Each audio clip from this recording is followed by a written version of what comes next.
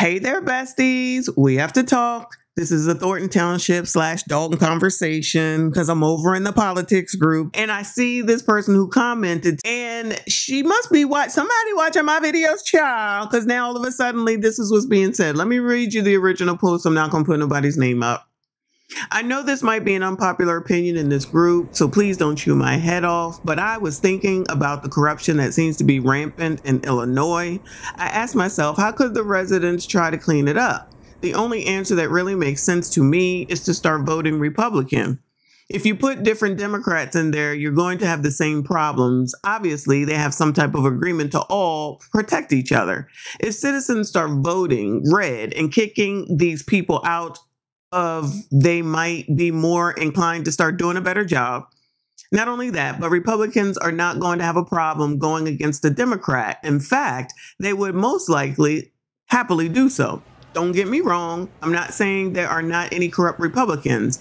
I'm not even arguing which party is better. I'm simply suggesting that this would be the best tactic, in my opinion, to start cleaning up the government on the state level. Put the government up against itself. There's no point in talking to Tiff. There's no point in being in her face. You need to be camped outside of Pritzker's house, his office, everywhere.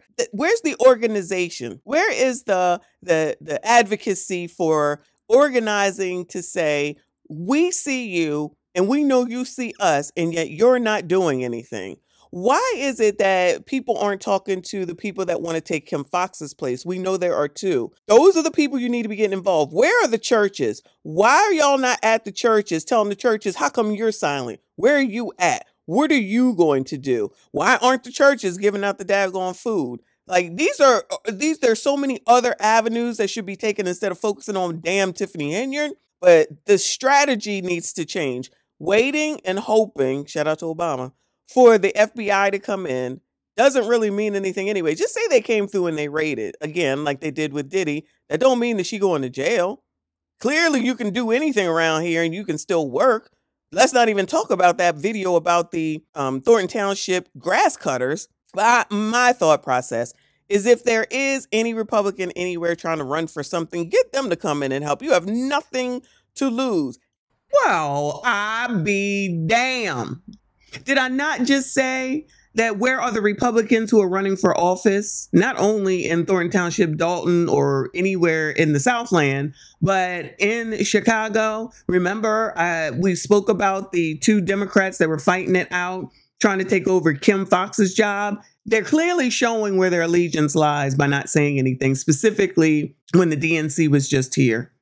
You're telling me there are no Republicans out here who are trying to vie for a spot.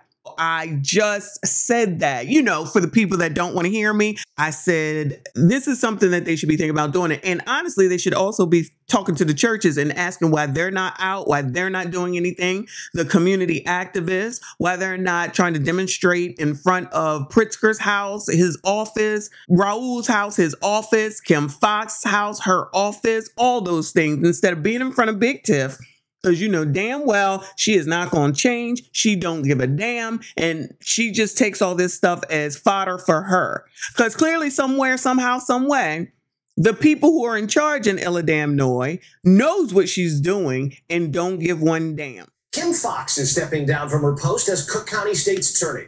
Four people are running to replace her one Republican, one Libertarian, and two Democrats. The two likeliest people to replace Kim Foxx atop the second largest prosecutor's office in the country give the outgoing state's attorney vastly different grades. I would give her um, a failing grade. I would not have stepped down from the appellate court unless I thought we were at a critical juncture right now. Some of the things that she's done, especially when we talk about reform, have been uh, nationally replicated. So we, we, I mean, the nation has taken note of this. That's Clayton Harris, an assistant Cook County State's attorney in the early 2000s. He was chief of staff to Governor Rod Blagojevich, now teaches policing at the University of Chicago. He's been endorsed by Cook County President Toni Preckwinkle and considered the more progressive candidate. You know, blind to it. If people think it's going just fine right now, I'm not their candidate. He is their candidate. That is Eileen O'Neill Burke, a former assistant state's attorney, defense lawyer, circuit court, then appeals court judge. He's considered the more moderate candidate. A vote for me means we continue to move forward. I believe a vote for my opponent takes us back. Is this where Kamala gets her we are not going back from? Vote for the black guy, not the white woman. But they also said that there's a libertarian and there's a Republican, but the focus was mainly put on these two because they were both vying for the position. And just as an FYI, it took approximately two to three weeks because it was so close because so many people wanted this man. He did lose, and she is the nominee like the news just said, I'm pretty sure that she will be elected, but there's still a libertarian and there's also a Republican. I haven't seen anybody talk about neither one of them. Again, mm. there's a telltale sign that Big Tiff was right down the street from the DNC and didn't show up, didn't go to a party, didn't go to an event, wasn't on the floor near nothing. All the attention that she likes? Please. But she went to see Joe Biden you know, I, they can say what they want. I just have a, I got a feeling that somebody been listening to these videos and all of a suddenly now, oh, we got an idea. But I digress. Let me go ahead and read them comments though, because the comments be coming, child. Now, this is garnered 72 comments. First comment says they like this stupidity, so brainwashed over the years. They don't see it. They vote for their own misery. No logic applied. The Democrats have paid for votes for years. They call it welfare welfare much easier than working. The response is I'm not going to lie. I used to be Democrat. I woke up though, unless they make major changes, I could never vote Democrat again. I now consider myself an independent who more often than not is voting Republican. I've lived in both Democrat ran states and Republican, and at the end of the day, the Republicans have done a better job. I hate the fact that people are so brainwashed to vote blue no matter who, that even with situations like California, New York, and Illinois, they will continue to vote Democrat even when Democrats are completely disregarding them and their well being. Democrats have monopolized these states to the point a Republican doesn't have a chance. That's the truth in Illinois. Now, that's part of the problem. That's why I said they got to get out and get other people on board with this. And at this point, they probably don't have enough time to be perfectly honest. But anyone who knows about Dolton, Thornton Township and knows what's going on there and can see what's going on in Chicago know that at this point it's too late. That's why I always say, I always say, instead of reacting, you have to be proactive in advance. You have to think about downstream impacts, and you might not make it for this year, but for the next two years and the next four years down the line, you need to go ahead and do what needs to be done. If it's possible to get people to see that you want to make sure that you try to make the changes in this upcoming election in Illinois,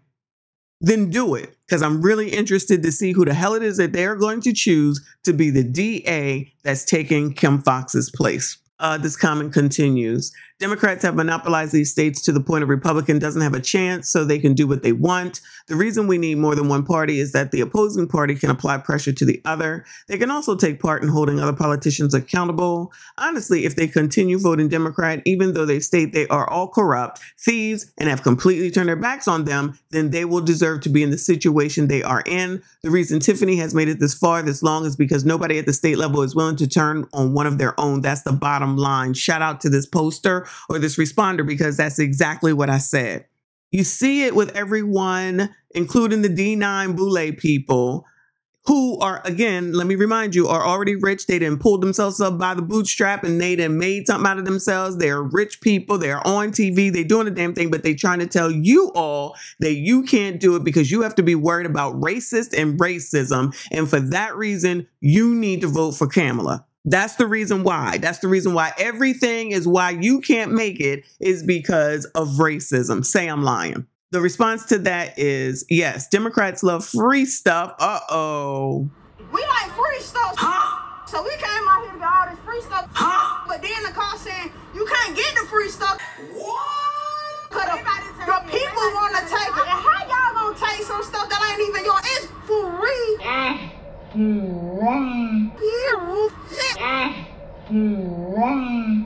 I got my two baskets and took the bus or whatever.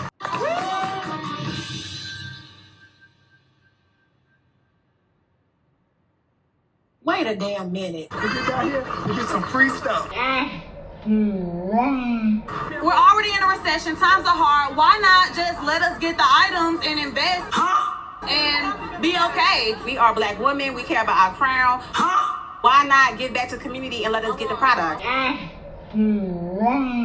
The, the tools, any other eviction. Complain taxes are too high. It really makes no sense.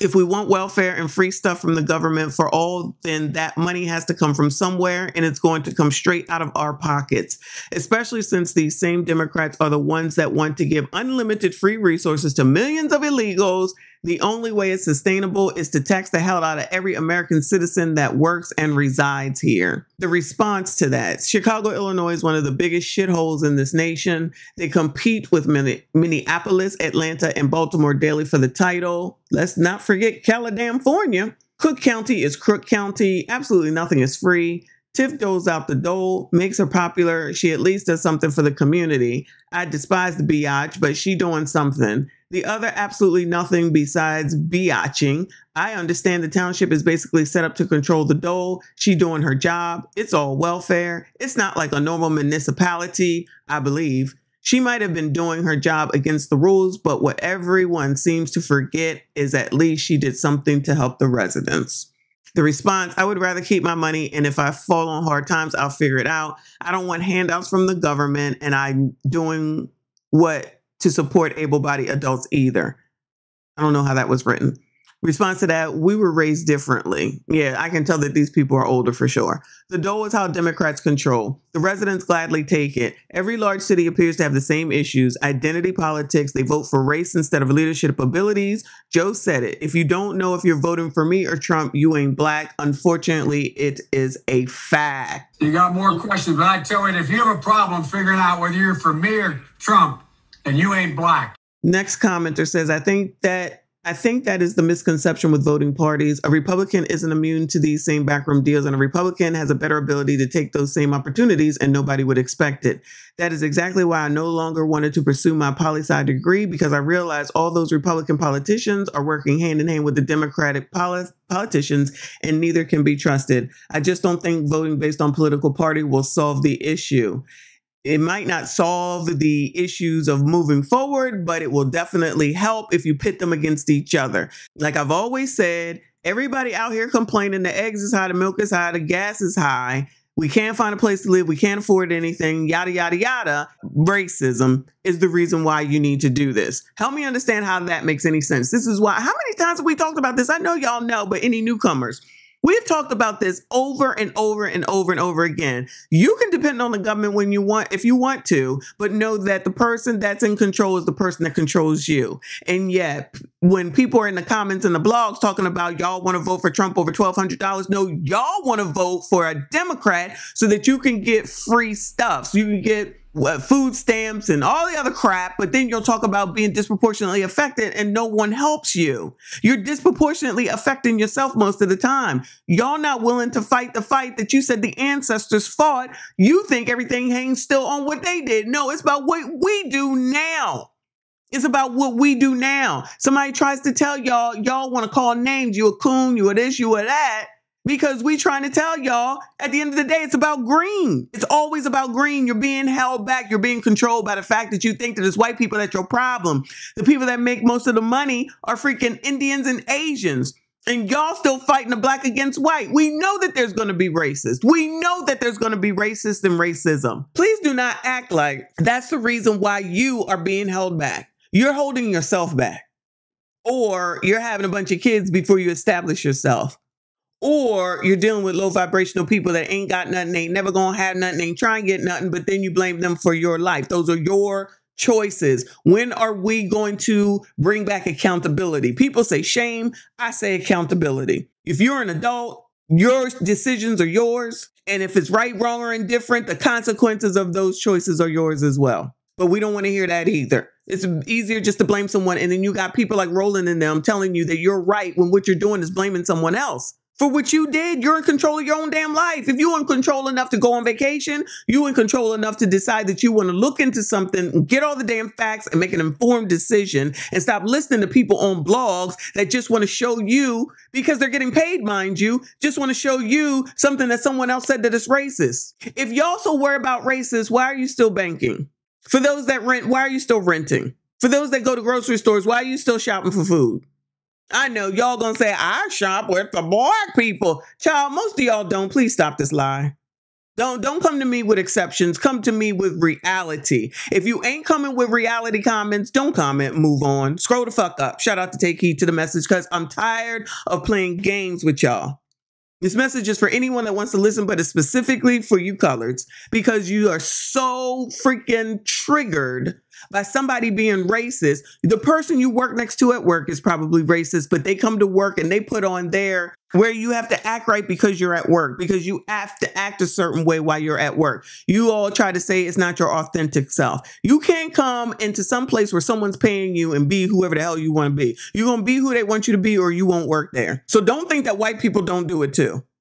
They just not disproportionately affected. Child, we might have to do a live stream off of this post alone because I know it's going to continue to grow and grow and grow. I ain't got time to go through it all right here on this video. This video is long enough as it is. But y'all, let me know what you think. Please make sure you hit the like button, subscribe if you are new. I see you all in the next y'all got one. false narratives out there, and y'all should be ashamed of yourself. Y'all black. Y'all are black. And y'all sitting up here beating and attacking on a black woman that's in power. You going to jail. You're going to jail, Gatto. Unass that seat. Unass that seat. Unass that seat. to express my deepest gratitude to Tiffany Henyard and her team for their commendable efforts to better our community. Listen, come here. Shut your stupid ass up. Say that, folks. Your dumb say it?